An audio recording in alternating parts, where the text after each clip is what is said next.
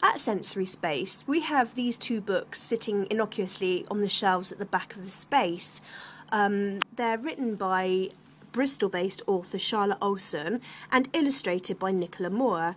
Now, it'd be a real shame to miss out on these books because they're actually really good.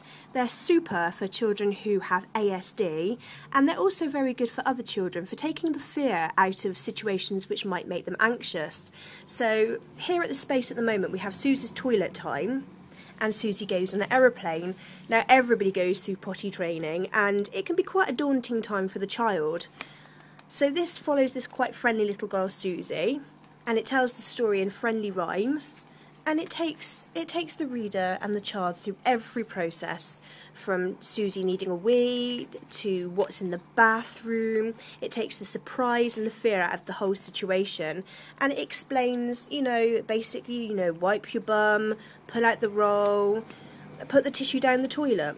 All the way through, it's very, very simple and it's a really good visual story. Over here, Suzie goes on an aeroplane. It's another situation that can be incredibly daunting and create a lot of anxiety in children. And again, this is another excellent visual story. So um, it explains the whole process from arriving at the airport to needing a boarding card, um, actually getting on, what's going to happen, you know, what it looks like, and oh look, there there are lights in the floor. And it'd be a real shame to miss these books because they really are very good.